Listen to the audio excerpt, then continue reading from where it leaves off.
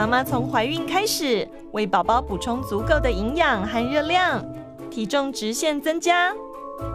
生产后又要哺乳，不能随意减重，是不是很困扰呢？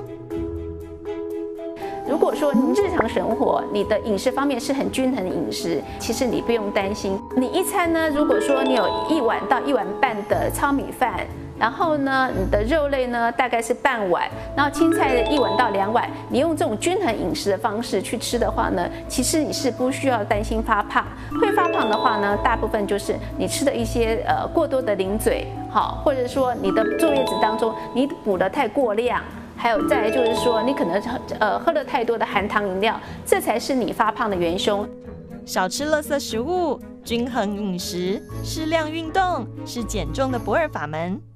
那今天就来为大家介绍营养均衡的减重餐吧。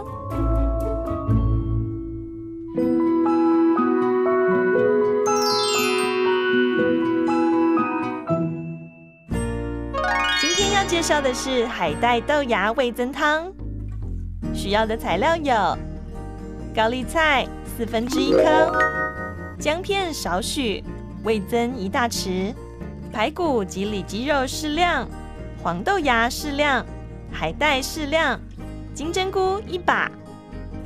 准备好材料，就请营养师来示范喽。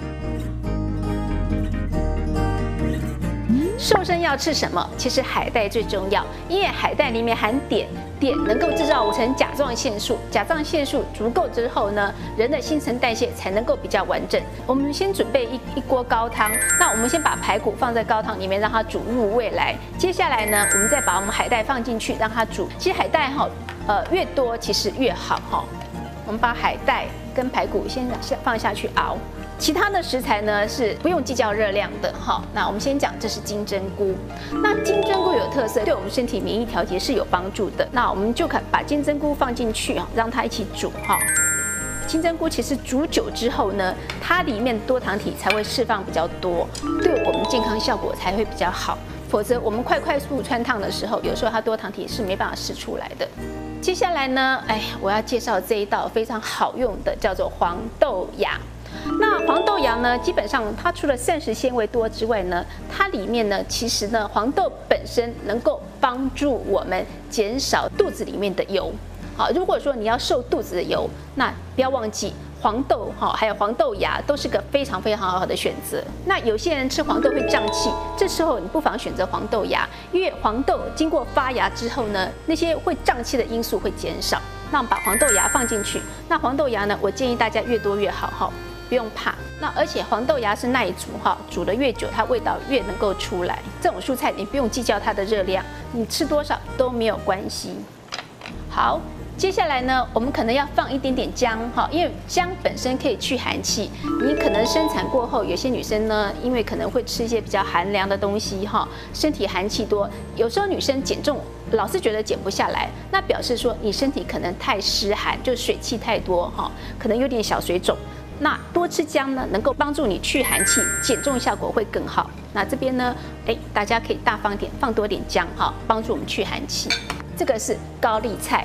高丽菜呢是十字花科，十字花科能够帮助我们肝脏做解毒。有时候身体可能呃累积一些毒素多，肝脏解毒能力比较差，有时候就比较不容易减重。解毒也是个很重要的课程。那我们如果说多吃十字花科的食物的话呢，也可以帮助我们肝脏解毒的更干净。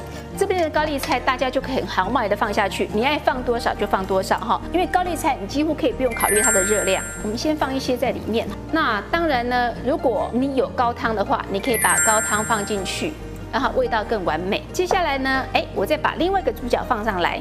这个主角是什么？是味增。你在整个减重当中，你放一些味增下去的话，可以减少你腹部的脂肪。就放一点点味增，对你的瘦身是有帮助的。但是不要放太多，太咸哦。那么味增呢，可能要先放点水哈，把它调开。你看这道瘦身汤，每一样每一样食材都有它的道理哈。好，我们把味增汤、味增调进去，让它煮一下。好，煮到这边呢，可能问我说，那没有肉怎么办？我该放些什么样肉品呢？好，我这边建议大家，这时候可以放点猪肉哈，但是量不要太多哈。通常呢，我建议大概三四片就好哈，一餐的量三四片就好。因为台湾现在肉吃的太多了，好，我们大概三四片就好，把它放上去，我们让它煮滚。你看呢，我这边食材当中，我还再把这三样东西放回来，表示说，当我吃完之后呢，哎，我肚子还饿，哎，这三样东西让你吃到饱都没有关系，不要忘了吃到饱哦。这三样可以吃到饱，吃到撑，它都不会让你发胖。这应该煮入味了。那接下来呢，我们不要忘了放点葱花，这些含硫化合物能够帮助我们身体抗癌防癌啊。好，OK，煮好了，哇哇！不要小看这一碗让你满的受不了的汤，它的热量还不到一百五十大卡，让你吃的饱的不得了，但是热量很低，让你瘦身瘦的又快乐又美丽。哇哦，这么大碗的海带豆芽味增汤，热量不到一百五十大卡哦。多吃海带有很多好处，它含有丰富的碘，利尿又消肿。另外，口感爽脆的黄豆芽热量非常低，而水分和纤维素含量却很高。高丽菜、黄豆芽和金针菇这三样都只有少少的热量，但可以增加满满的饱足感，可以多吃。想要瘦身的妈妈们可以试试看哦。